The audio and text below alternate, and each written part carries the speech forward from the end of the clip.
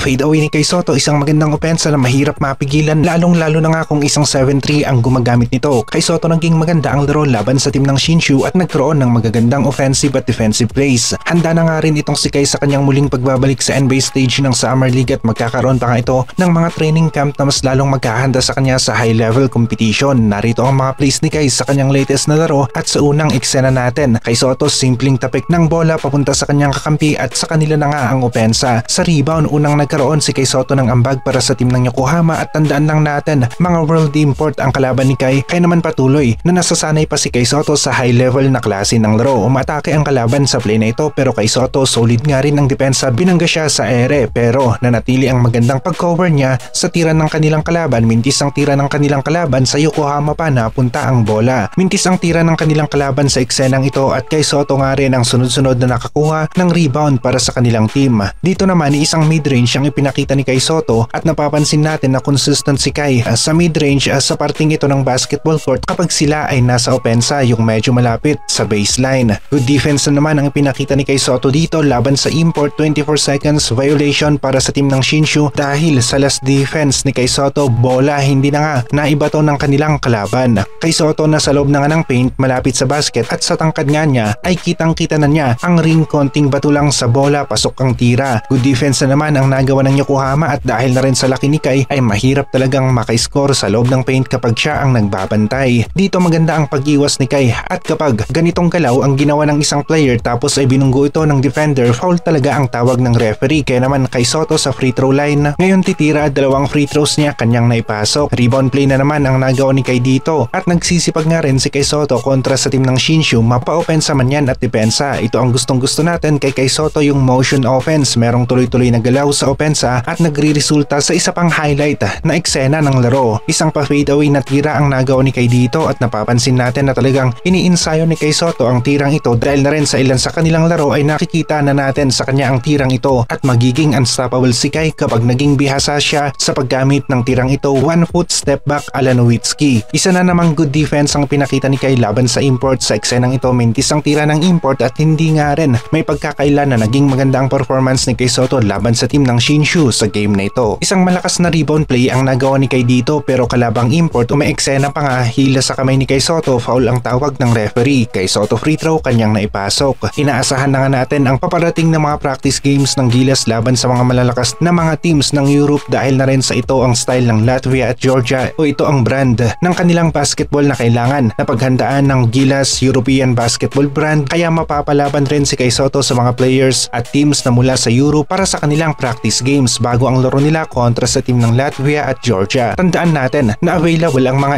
NBA players pagdating ng Olympic qualifying tournament dahil na rin sa off-season na ng NBA pagdating ng Olympic qualifiers.